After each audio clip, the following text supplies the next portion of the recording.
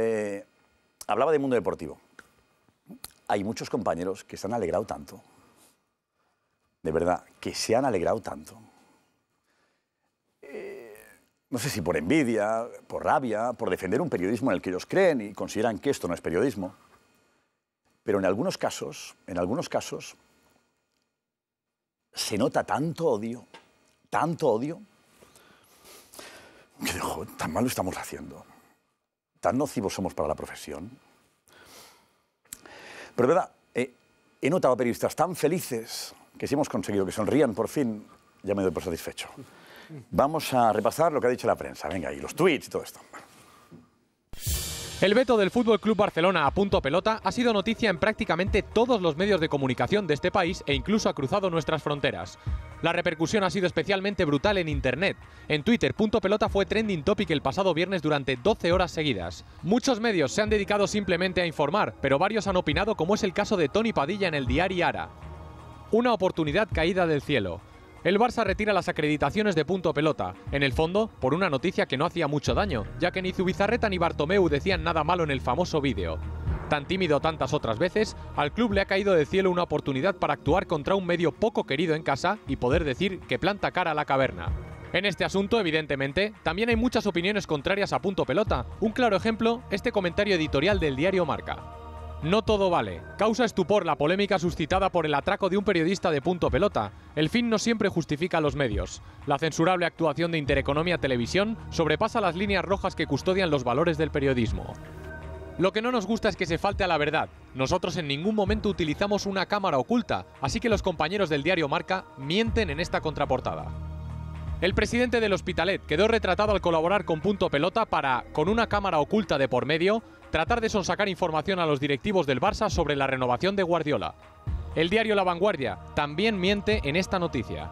Un redactor del programa Punto Pelota indujo al presidente del Hospitalet, Miguel García, para sonsacar la información a los responsables deportivos del Fútbol Club Barcelona, con quienes coincidía en un acto, para captar con una cámara oculta la posible exclusiva.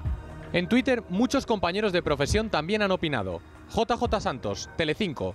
Sorprendido con el veto del Barça a punto pelota. Los juzgados están abiertos para todos si alguien se siente ofendido, pero sin vetos. David Sánchez, Marca Televisión. El Fútbol Club Barcelona se equivoca vetando a punto pelota. Las cosas hay que tomárselas con humor. El vídeo no me parece motivo para vetar un medio.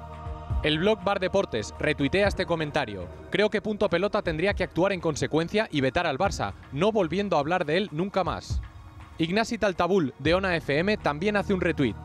El Barça se atreve con Punto Pelota, el mismo Barça que no se atrevió con Pepe y el Real Madrid. Rafa Sauquillo, Radio Marca. Sandro, ¿y yo que pensaba que lo de vetar y amordazar solo lo hacían Lopera, Astiazarán y Roures? Marc Guillén, de Barça Televisión, retuitea el siguiente comentario. Punto Pelota saca información de escondidas a los directivos del Barça y añade, Vomitivo es poco, yo se lo prohibiría todo. Sandra Sarmiento, Barça Televisión. Gente que se queja de que Guardiola cierra los entrenos, pero el primer día que los abre intenta leerle los labios puteando al resto. José Luis López, Mundo Deportivo. Como la basura cada una en su contenedor, Sálvame o Gran Hermano no esconden qué son y qué pretenden, mientras que Punto Pelota juega el engaño. Bueno, habéis comprobado un poco que hay de todo como en botica. Eh, por cierto, me están llegando un montón de mensajes de compañeros. Gracias a todos. Y, y sé que muchos no podéis aparecer públicamente a decir que estáis con nosotros. Sé que muchos estaríais sentados aquí, me lo estáis diciendo, que os sentaríais en estos banquillos, pero no podríais ir a trabajar a vuestra empresa al día siguiente. Con lo cual lo entiendo. Valoro mucho los mensajes de cariño que no han salido públicamente porque no podéis, porque estáis los medios que estáis, pero sé que estáis con nosotros. No hace falta, lo sé, ¿vale? Que lo sepáis. Eh, nos critican por, por leer los labios de Guardiola. Ahora no se pueden leer labios porque a alguien se le ha ocurrido que no. Porque si leemos los labios de Guardiola, ya no te dejan grabar los 15 minutos de entrenamiento.